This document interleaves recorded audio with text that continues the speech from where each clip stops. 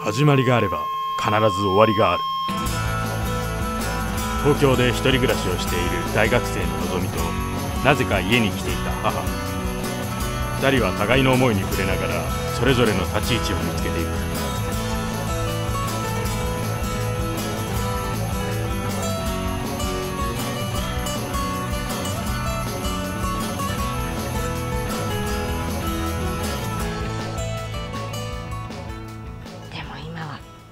一人暮らしで家にいないから。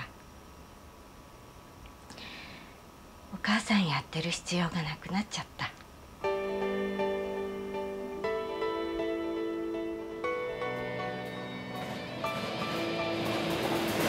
何？また IKEA 行くの？違うわよ